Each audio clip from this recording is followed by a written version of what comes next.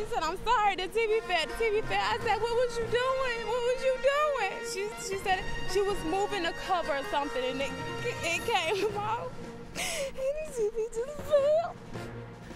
First on WYFF News 4, this little girl died yesterday after being rushed to the hospital unconscious.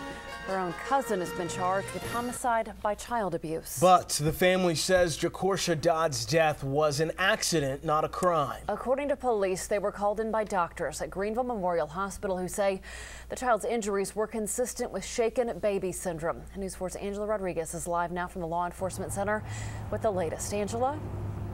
Well, Beth, the whole family was home when this happened, including mom, grandma, and another child. And they say that their cousin Judy, who's in lockup right now, isn't capable of hurting a child. They say she watched everybody's babies, but police say they're just following the medical evidence. This family is dealing with not one, but two heartbreaks. They've lost their little angel, Jacorsha, and now their cousin Judy Greer is in jail charged with her death. And I don't think she would have done that to my baby. And when I walked in, she was holding the TV. She was holding the TV. The whole family was home yesterday morning when something went terribly wrong.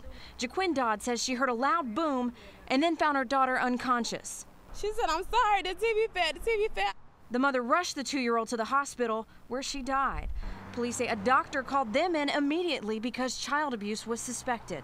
I don't know exactly uh, if, if this was an intentional act, an, an accident on her part, we, we don't really know.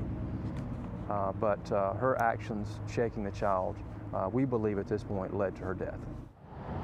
According to the autopsy, the official cause of death in this case is going to be shaken baby syndrome. The Department of Social Services has also been contacted to investigate the welfare of the other children who were living in the home. I'm Angela Rodriguez, WYFF News 4, live in Greenville.